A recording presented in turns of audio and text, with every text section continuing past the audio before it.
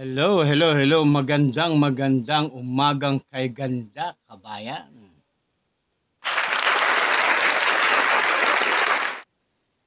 I'm back. This is Executive Star Diamond Jason Pasha of DX International Private Limited. Good morning po, good morning. Start part-time but full-time attitude. Dito naman po muli ang inyong lingkod, magbibigay po ng magagandang balita, magagandang uh, patotoo sa ating mga kababayan, lalo-lalo na po sa panahon ngayon na napaka-importante po na magbigay po tayo ng mga uh, nakaka-inspired na balita. Uh, patotoo na tune in lang po tayo. Po tayo ng mga sa ganun eh uh, nakaka-inspired na yes. balita. Uh, patotoo na tune in lang po tayo. Po tayo ng mga sa ganun eh uh, nakaka Okay, so sa mga kabubukas pa lang ng kanilang uh, cellphone, laptop, at uh, syempre, bati-bati portion muna tayo uh, regard po sa mga Pasha family, sa ating mga Garcia family, sa aking mother, Estelita Pasha, colon cancer survivor, yan.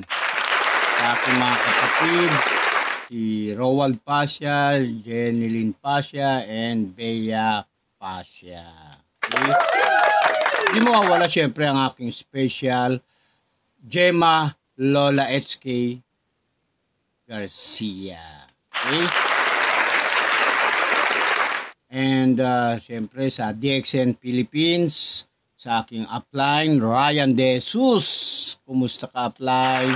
Eh, Jesse Corpus, kay apply na June Shapno.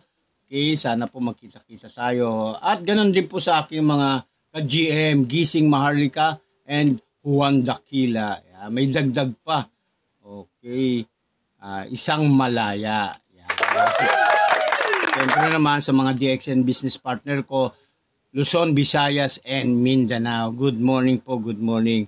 Sana magkita-kita tayo at magtuloy-tuloy na itong uh, nangyayari ngayon. Pero importante pa rin na maging malakas ang ating immune system. Okay? At ano po ba yung ibibigay sa inyo ng 30 minutes ng ating live stream video? Okay, tayo po ay meron po tayo mga ginagawa po ang DXN Philippines na 3 o'clock habit i-feature lang po uli natin. Kasi sa dami, yung iba, lalo na po sa mga hindi pa nakakaalam, mga first timer, kung ikaw may timer na, na matagal ka ng member, hindi nyo napanood to, eh napaka-importante, panoorin nyo ulit.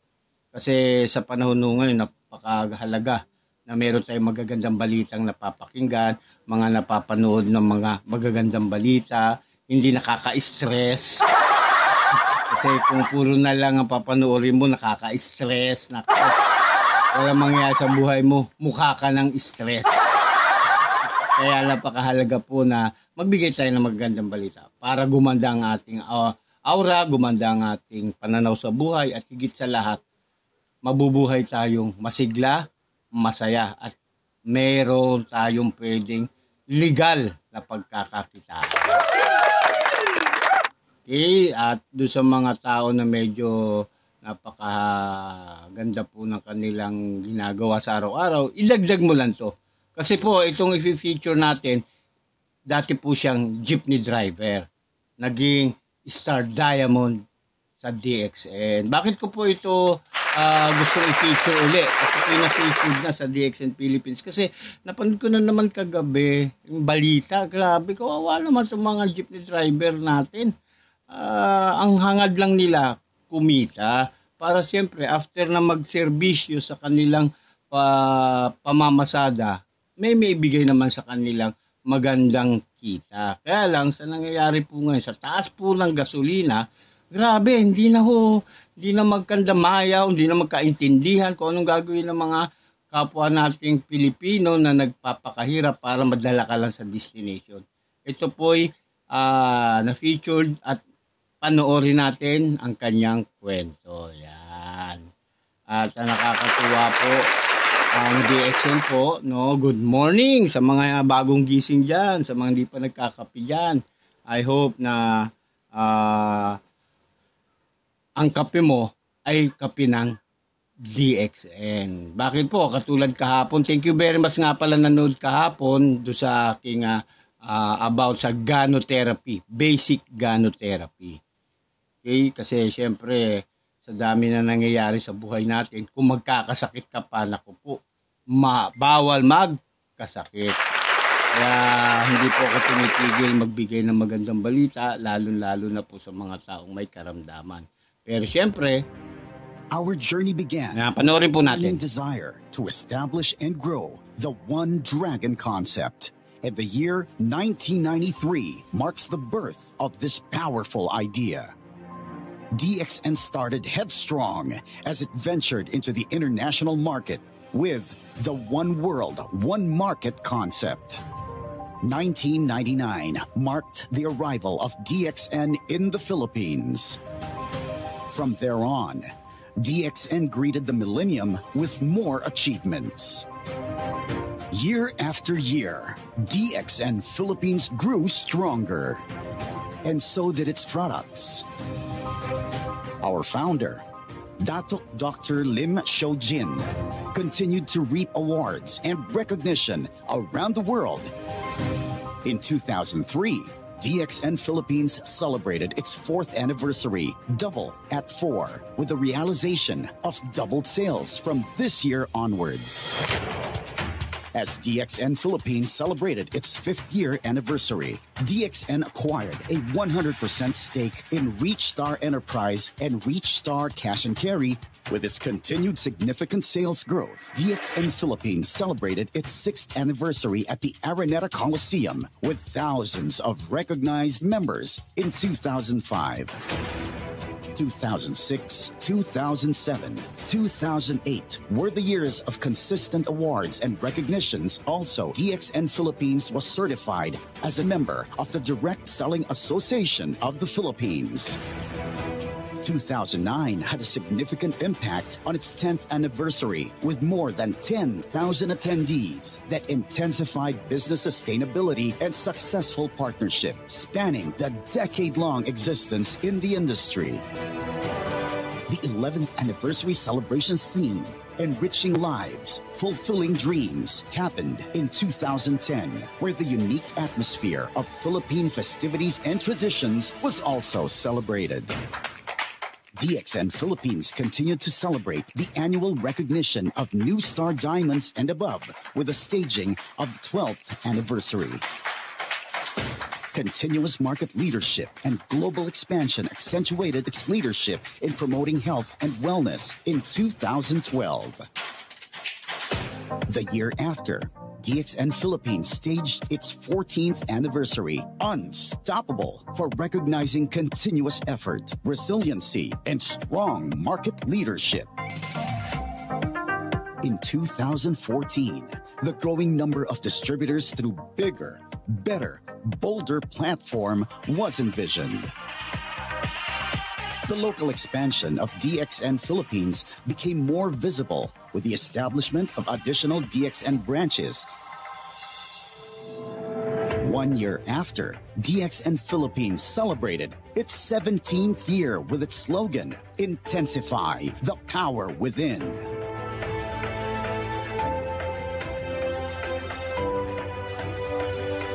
Greater impact, powerful motivation, and overwhelming excitement emerged in the celebration of DXN Philippines 18th anniversary with the theme Rise to Victory.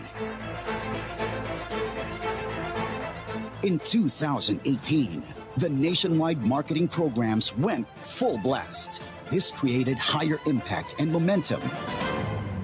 This year, DXN CEO and founder Datuk Dr. Lim Xiaojin is among the 795 medal recipients of Panglimajasa Negara. He was bestowed the title of Datuk as recognition for his effort in bringing Malaysia to the global scene through quality products of DXN and the concept of one world, one market.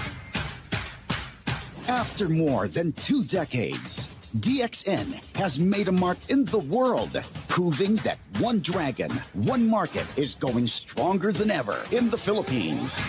We celebrate and radiate all the colors there is. Together, we say, Isulong ang tagumpay. Mabuhay DXN Philippines!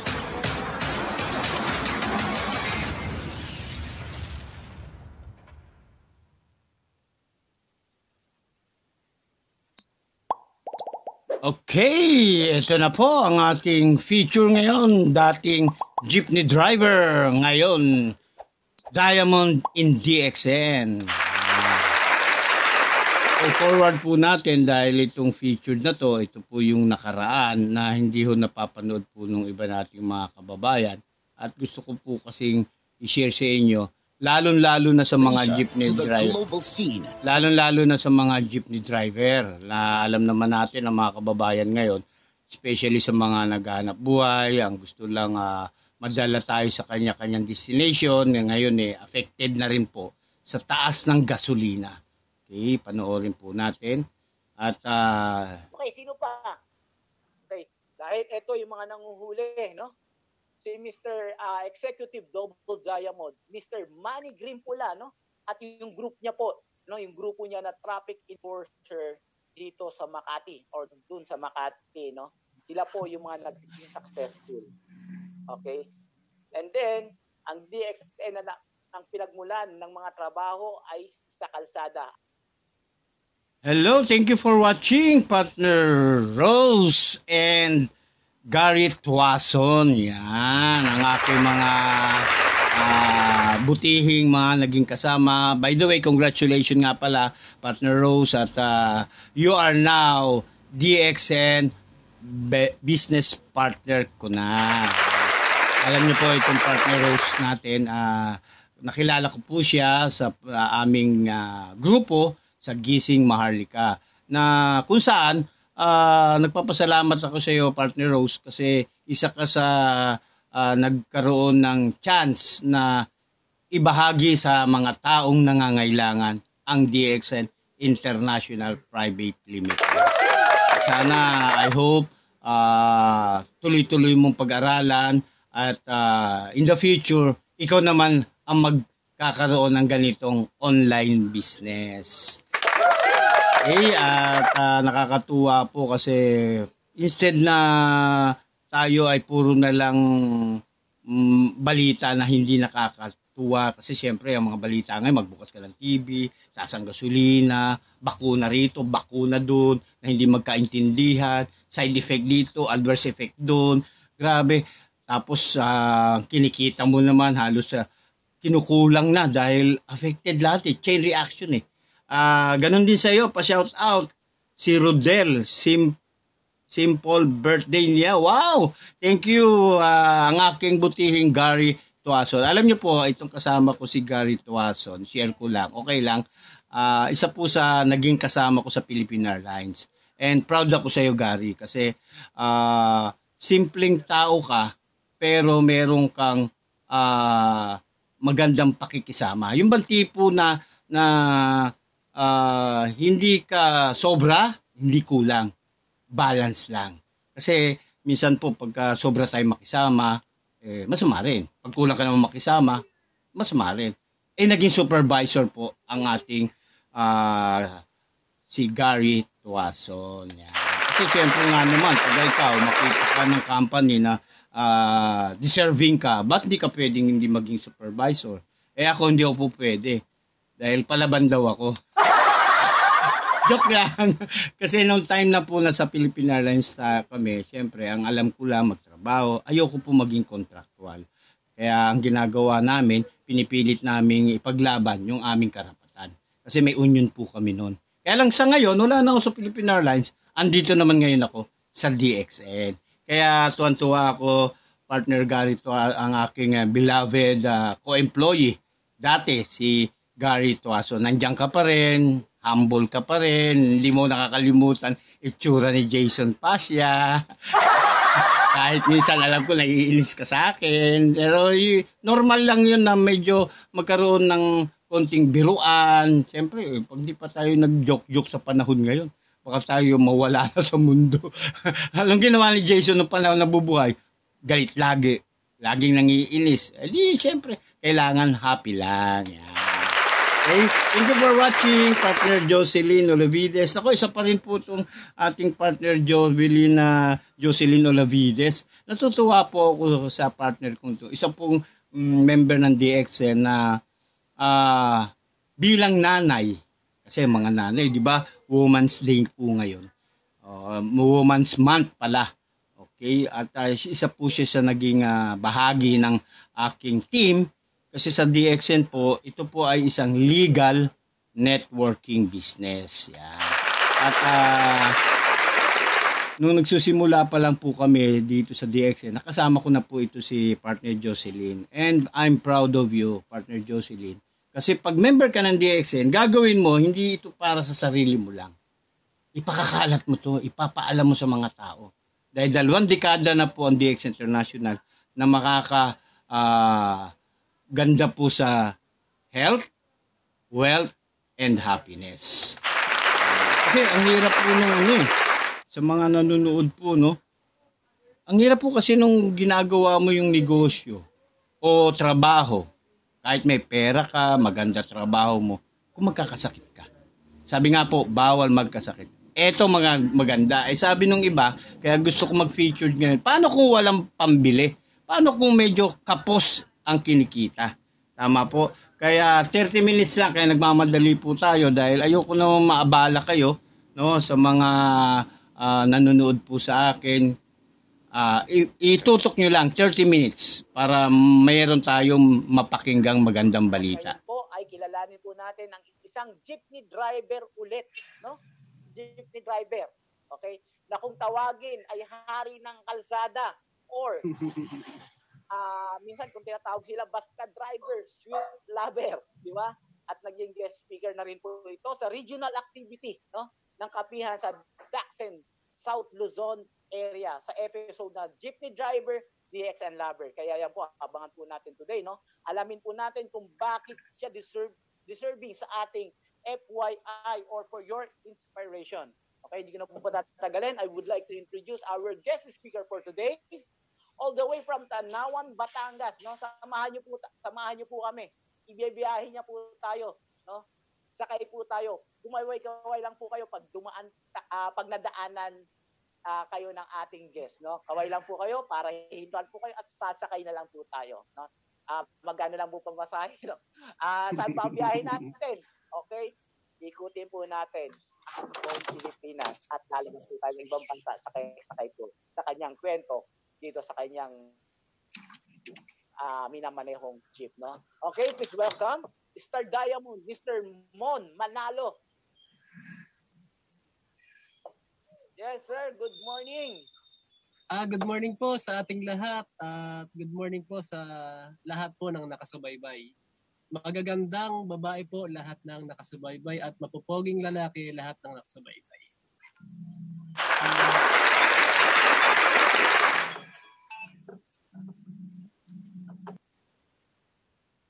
Ko, thank you for watching ang ating si partner Alvin De La Cruz. Yan, at least nakatune in ka. Maganda to partner Alvin. Uh, ang ating kasamahan po dito sa Balagtas Bulacan Market na kung saan nandiyan po nakapwesto ang aking uh, uh, partner Gemma Lola HK na nakasama po namin. Ito po si partner uh, Alvin De La Cruz. Very open-minded po ito. At very negosyante, ika nga. Sana tapusin mo to in 30 minutes. Dating jeepney driver po siya na sumali sa DXN. Ngayon po, naging successful na siya. Kasi marami pa tayong mga jeepney driver na naghihirap. Baka sakaling mapanood nila to, like and share, okay, para makatulong po tayo sa iba.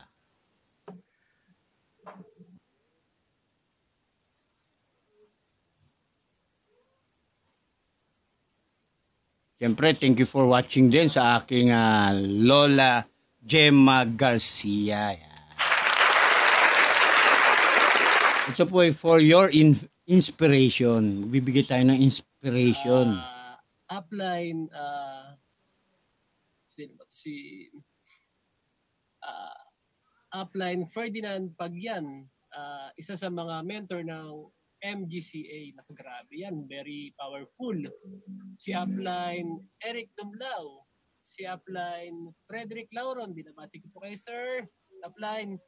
Ah, binabati ko rin po si upline Manny Grimpula ang napakasipag at very supportive na leader ng MGCA. At sa buong ah, grupo po ng MGCA, binabati ko po kayong lahat. Kaway-kaway po sa mga uh, And then, ah, syempre, binabati ko po ang service center na director ng Tanawan po. Binabati ko rin po ang ah, branch outlet, ah, yung may-ari po ng branch outlet sa Santo Tomas, isa po sa mga grupo ko po. Ah, binabati ko po kayo, Mr. and Miss Manso. Oh, grabe. Si Upline Ida, ang aking ah, very supportive na upline ng ah, Senior Star Diamond ng uh, DXN Tanawan. Na, yung buong grupo ko po sa Santo Tomas at sa lahat po ng mga Crown Diamond na nakasubaybay, binabati ko po kayong lahat. Yan, okay. Maraming salamat at marami ka pa. Ah, almost ah, medyo nasa higher position ng iyong mga upline or yung mga business partner. Bukod doon sa pagbati, no? Siyempre, binabati ko rin yung South Luzon Businesspreneur. Yan, na talaga namang lumalaki yung grupo sa South, no? Okay? Ah, pa, tan- may mga question tayo. Handa na ba partner mo, no? O Sir Mon? Ah, para sa ating episode for today, no? At isakayin na natin, no?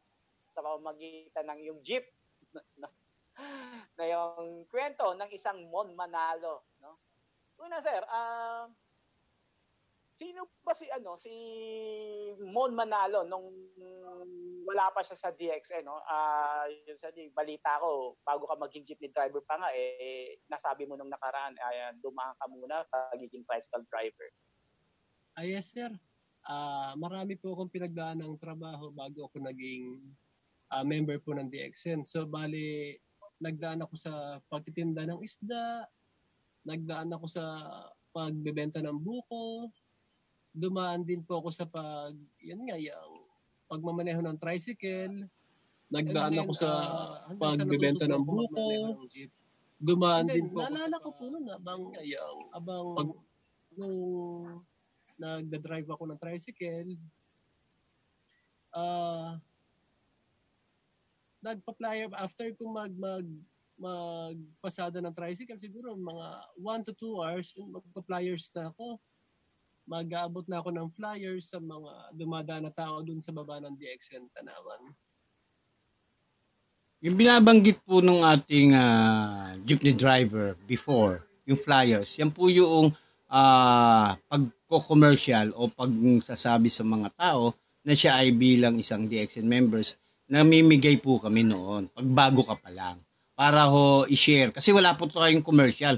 Kung mapapansin ninyo mga kabayan, kapamilya, walang commercial, walang TV ads, walang artista, wala tayong mga ah, ah, napapakinggan sa mga radio station dahil instead na magbayad ang company ng DXN sa mga pagko-commercial, tayo po bilang member, tayo po ang magkakaroon ng rebates sa mga product na binibili natin.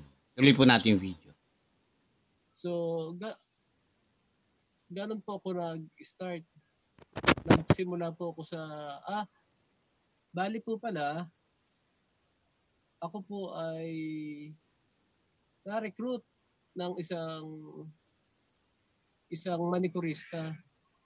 So, nung ma-recruit niya po ako, ang hanap buhay ko nga po ay, yun nga, nag, nagbebenta kami ng buko and then nag-drive, nag-drive po ako ng tricycle and then hanggang sa natutong magmaneho ng jeep. And then, naisasabay ko naman po ang DXN kahit na meron akong ah meron akong ibang hanap buhay. Nagpapasalamat naman po ako, very thankful po ako sa Diyos kasi nga dinala niya ako sa mundo ng DXN. Napakaraming bagay ang natutunan ko po sa mundo ng DXN. Pero sir, sa pagiging ah, jeepney driver mo, no? um, hindi ka ba dyan yung ibig sabihin, marami ka talagang naging experience no, as a jeepney driver na uh, hindi mo na ba, na, nasubukan mo na ba na uh, almost yung trabaho eh talagang pag jeepney driver ka talagang 24 hours no nasubukan mo rin ba yung mga ganong sitwasyon sa trabaho mo as a jeepney Sa- driver Sa pagmamaneho ng sa pagmamaneho ng jeep sir, sinasagad ko po yung aking kakayahan. Hanggat may lakas pa po ako, ginagamit ko po siya po pang makapaghanap buhay, sir. And then, pag meron akong pagkakataon para makapag-recruit, sir, so, ginagawa ko po. Halimbawa, kumain ako sa kantin. So, ang nangyayari niyan, sir, yung may, ah, tindera sa kantin, kinukwentuhan ko siya. Kinakausap ko siya hanggang sa dumating yung time na mare-recruit ko na siya and then magiging member ko na. na pa-member na, nakakwentuhan. So, dinadaan ko lang po sa pakikipagkwentuhan. And then, na-attract ko din. Ang ganda ng negosyo natin mga kabayan. Kwento lang. Kwentong may kwenta. ayun yung way ng ano no ah ah, magpapahinga ka lang tapos ah, kakain tapos introduce mo DXN ng mga business partner no Ah, isang good idea yan sa mga nagne-network sa labas na nakain lang sa canteen tapos magkukwento hanggang makakapagpa-member na tayo no? pero Yes sir, bago magpapapansin. Oo. Bago tayo umabot dyan, no? Ah, yun nga, ah, nung napamember ka na sa DXN, ah 2014, no? Sabi mo nga kanina, 2014, ah almost 7 years na din, no? As a member of DXN. Yes sir. Ah, ah, ano yung mga naging reaction or access acceptance mo, no? Especially dito sa ano, sa yung family. Hindi ka ba ibig sabihin hindi ka ba nahihirapan? Kasi nga nap- napansin ko eh part-time part-time lang din naman si DXN, no? Ah, that time. Ibig sabihin, ah medyo wino-workout mo na si DXN as part-time, ah paano mo paano ka ah, paano mo na ah, paano mo na accept yung mga ganong situation especially dito sa yung family. Paano mo siya Okay, in-introduce kasi Okay. yung sa mga ano no sa mga member natin pag ah, inintroduce sa kanilang family yung ako nagpa-member sa DXN talagang negative yung mga sinasabi sa kanila. Pero say sir ano yung situation mo nung nalaman ng asawa mo na nagpa-member ka sa DXN Ako sir, nung nagpa-member ako sa DXN, so tama ka naman na napakaraming negative, napakarami nung sinasabi nila sa akin, pero ah na nakaya ko sir. So ah pinagtiisan ko sir at saka at the same time ah chinaga ko sir. So maraming pagkakataon na kinukwento ko sa mga magulang ko, sa mga kapatid ko yung ah opportunity sa DXN. Pero maraming beses na sinabi nila sa akin, i-give up mo na yan. Maraming pagkakataon na sinabi nila sa akin na ang liit-liit naman ang kinikita mo na dyan. Magganap ka na lang ng ibang trabaho. So, masakit para sa akin yun, sir, kasi ah, ako nakita ko yung opportunity sa DXN. Nakita ko yung opportunity sa DXN na balang araw, someday, mabago yung buhay ko. Ah, dahil nakaka-attend ako ng training, nakaka-attend ako ng seminar, especially yung palaging sinasabi ni Upline Money na gawin mo lang na ano, parang hangin. Gawin mo lang parang hangin yung mga pagsubok na yan sa buhay mo kasi ikaw yung saranggola na kapag dinadaanan ka ng hangin, patuloy kang tumataas. Patuloy kang umaangat. Tulad din ng sabi ni Lito Capuno na yung mga negative na yan, pagka sinabihan ka ng negative, eh, isipin mo na lang, ah, iyan lang. Pero wag mo lang paparinig para hindi sila magalit sa'yo. So, dinadown ako, especially mga ah, part ng family ko. Pero, Yung na-mention niya pong si partner Manny Green Pula, dati po siyang traffic enforcer sa Makati. Na kung saan, yan po rin yung nakita ko at nakasabayan ko na nauna sa akin sa DXN na isa pong powerful speaker ng DXN na kung saan after ng kanyang ah, pagiging traffic enforcer eh nag full time na po sa DXN and he's earning 100,000 na po monthly. Ah, na-introduce naman po sa kanya ang DXN bilang jeepney driver. Kasi siyempre nga naman, traffic enforcer. At yung Lito Kapuno naman po na yon yung isang na-mention niya, kasi eh, hindi niyo po na itatanong mga kabayan kapamilya. Dating duda rin po ako rito. Da, ang ganda po ng trabaho ko sa Philippine Airlines. Hinanap ko talaga. Inalam ko. Para mawala yung duda ko. Kasi ang isang tao, kapag may duda sa ginagawa niya, kahit anong gawin mo sa isang bagay katulad ng ganitong negosyo, mahirapan ka. Kasi may duda eh. Tama po. So, yung Lito Kapuno, dati po siyang bawang sibuyas vendor sa Pasay na ngayon po ay successful na rin sa DXL. nanatili ako dun sa nakita ko. Kasi ako yung nakakita eh. Ako yung nakakita ng isang opportunity. So, bakit ako magpapatalo sa kanila? Ah, until now,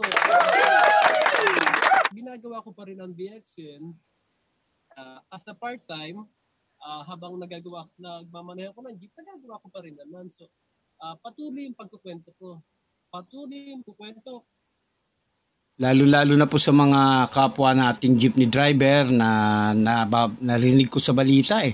Talagang ah, halos sa umiiyak na sa hirap sa kanilang ginagawa araw-araw. Imaginein mo, walang tigil ang taas ang gasolina samantalang ah, halos mag doon na nakatira sa kalye ang mga jeep, kapwa nating jeepney driver pero hindi sapat dahil walang tigil ang ga, taas ng gasolina na meron naman palang pwedeng gawin na part-time. kwento lang, kwento ng kwento ng kwento, hanggang sa mayroong tao na maniwala sa akin. Andyan lang yung negative. Ah, napakarami nga, sir.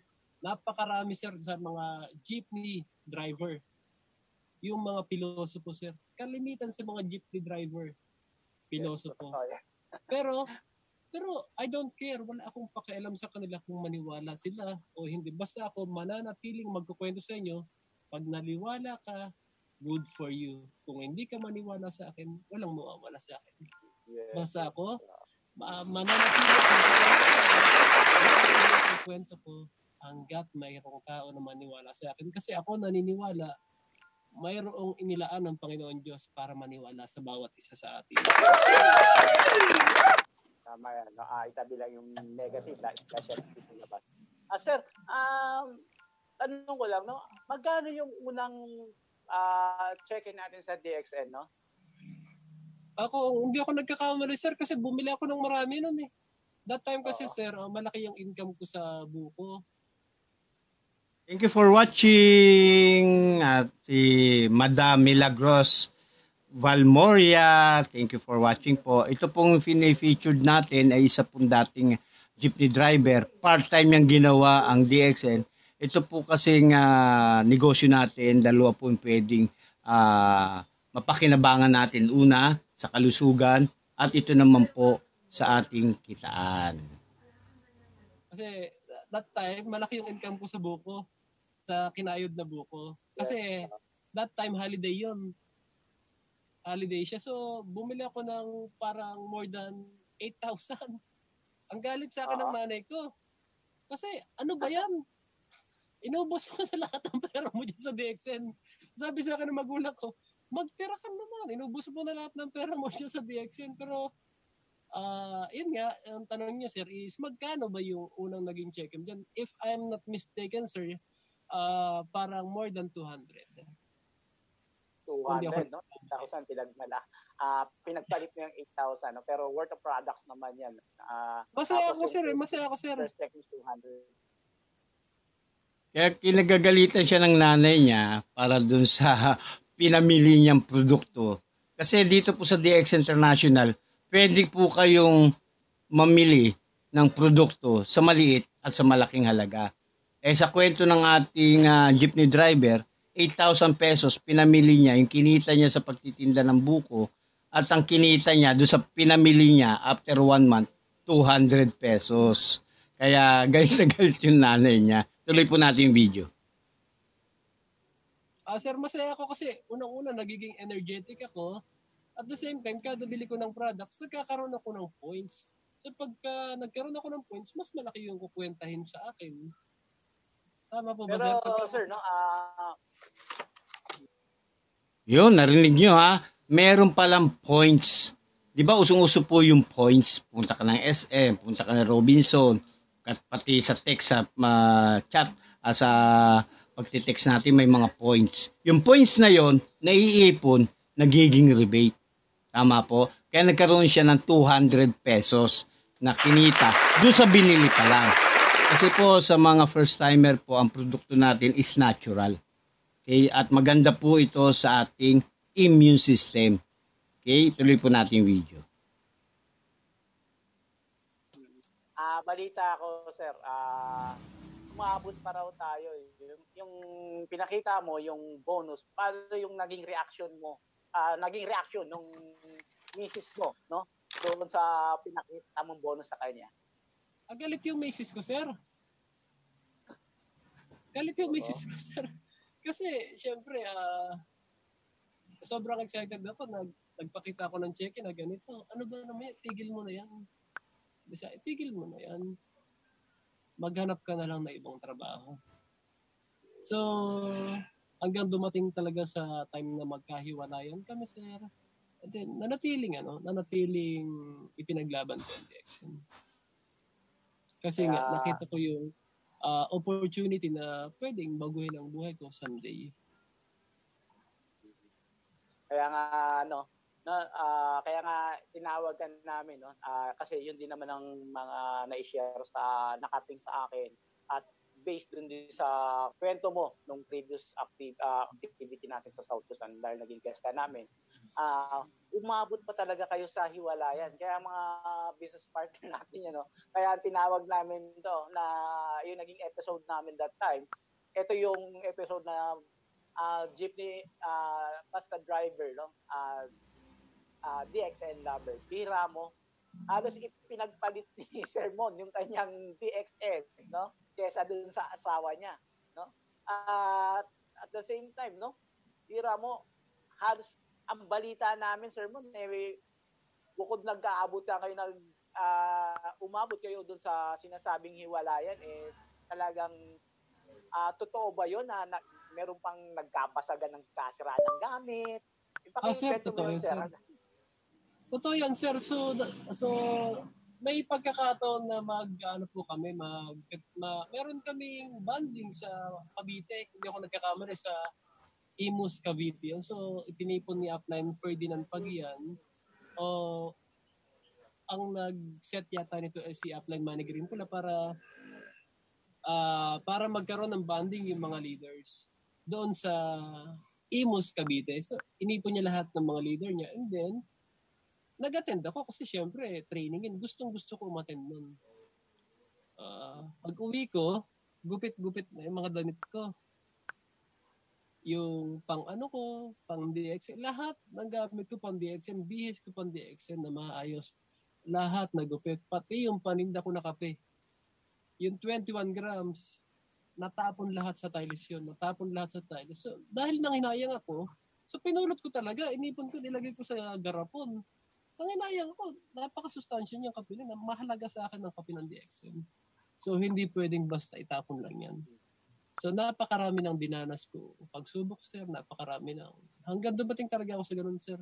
Yung kinugupit yung mga damit ko, pati yung products ko na, na ng DXN is talagang ginupit-gupit. So, napakasakit sa pakiramdam pero sa akin. Pero sabi ko, hindi ako titigil. Hindi ako titigil. So, mananatiling mag-DXN ako hanggang sa magtagumpay ako. Misis mo, di ba, sabi mo, nagkahiwalay, nagka, ah, nagkabali ka naman ba? How many years kayong naghiwalay? Yung, ano? Ah, hindi naman ganun katagal. Sir, nagkabalikan din po kami. So, ngayon po, Ah, magkasama na talaga. po kami. No, kasama po namin yung ah, apat naming mga anak. And then, so, unti-unti pong nabubuo yung So, ginagabayan po kami ng Panginoon Diyos kung paano yung dapat namin gawin para ah, matuto kami sa buhay. Kasi before, lagi kaming away, bate, away, bate, away, bate. Uh, so, lagi ako nagpipray na ayusin ng Panginoon Diyos yung family ko. Para, kasama naman talaga yan sa buhay yung away pati yung pag-aasawa. Pero ang, ang naano ko lang doon, na-miss lang talaga ako. No? Ah, talagang umabot talaga kayo sa hiwalayan. Pero, Oh, sir. wait, no? Lupit, no? Tapos nagkabasagan. Yung iba kasi, no? Mga business partner, no? sa, ah, kasi kahit ako, ako rin, nagkaroon din naman ako ng asawa, pero hindi naman nangyari sa akin yan. eh, yung mga nakikita ko sa mga kapitbahay namin, lalo sa mga ah, talagang squatter area, talagang umaabot pa talaga doon sa kalsada ang kanilang pag-aaway. Pero ikaw, no? Ikaw, ah, minsan yung pag-aaway na mag-asawa, no? Ah, kung hindi yan sa pera, talaga, pera ang pinagmumulan, no? Lack of money, wala na makain, ah, kaya nagkakaroon ng sakitan hanggang nagkakahiwalay. Pero ikaw, ah, nagpa-member ka sa DXN, tapos kung pag-uwi mo, andyan na, gera ng misis, tapos hanggang ta, paano mo na ano yun? Paano mo nagawa yun? Ano sabi niya? Ano, maghiwalay na tayo tapos ikaw sa DXN ka na? Ganun ba yun? pa- parang ganun, sir. Parang ganun, sir. Oo. Ang nangyari niyan. Okay, So, mas so- pinili mas pinili mo si DXN. Sige, sir. Sige, sir. Ahead. Sir, kasi pagka ano, kapag nag-start ka sa DXM, normal lang na maliit ang income. Talagang na, magsasakripisyo ka talaga, sir. So, magsasakripisyo ka. So, hindi hindi instant ang pera sa DXN. Sa DXN. Paghihirapan mo talaga, pagpapawisan mo, mapapahiya ka sa maraming tao, pagkatawanan ka ng mga kaibigan mo, napakaraming kahirapan, napakaraming kahihiyan ang daranasin bago ka mag-diamond sa DXN. Kaya sa mga nag-diamond sa DXN, nako grabe, kaway-kaway po tayo. Ang hirap na dinanas ko kasi dinanas ko rin po. Hindi Pero po biro mag-diamond. na-accept na ng ano? Ah, ibig sabihin, sa ngayon, na-accept na ba ng misis mo si DXN? Kasi sabi nga, Ah, si- before, kaya kanina, eh, ayaw niya sa DXN. Pero ngayon, accepted niya na. Oo nga sir, sabi nga sa akin ng asawa ko, huwag ka na mag-drive ng jeep, mag-DXN ka na lang. Balik sa na yun nangyari. Pero, huwag ka na mag-drive ng jeep, mag-DXN ka na lang, yun ang sabi niya sa akin. Kasi nakikita niya paghihirap ko sa pagmamanehan ng jeep. So, itina-timing ko lang, sir. Itina-timing ko lang. So, darating yung panahon na na ah, mas bibigyan ko ng maraming oras yung pag-DXN. Siyempre, uh, itina-timing ko lang, sir. Para, ayoko na kasi masira ulit yung pamilya namin. So, Okay, so grabe no, ang ganda ng ating pinakikinggan. Pero tapos na yung 30 minutes. Meron po akong link sa kabuuan po niyan at uh, pwede pwede niyo pong ulitin. Nang sa ganun, eh, medyo putulin natin. Gusto ko kayo ma-excite. Panoorin niyo ulit na may link po tayo. So with that, thank you very much sa mga business partner ko, sa mga nanood. Meron na naman tayo uling uh, napakinggang magandang mga balita. God bless po. Thank you. Bye-bye.